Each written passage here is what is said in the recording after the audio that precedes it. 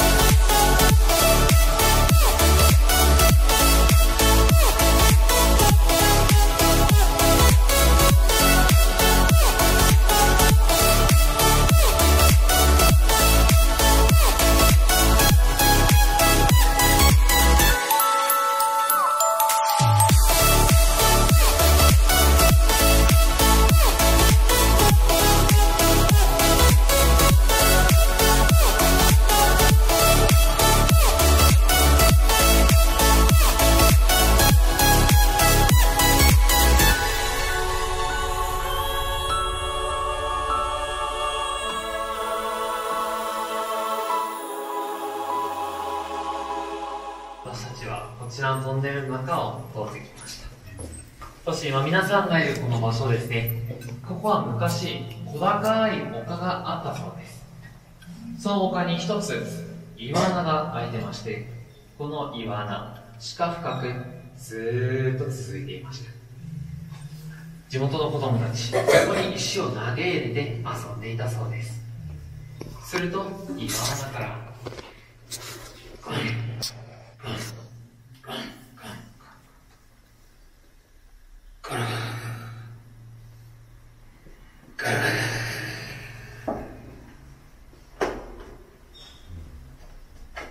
と聞ここのことをガンガラといたそうです。今でもです。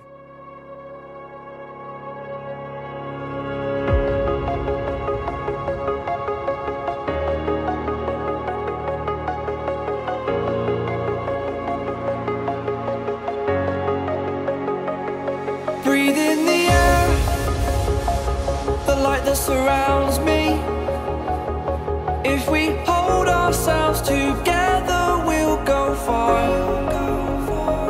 Created a space, in my head it was empty.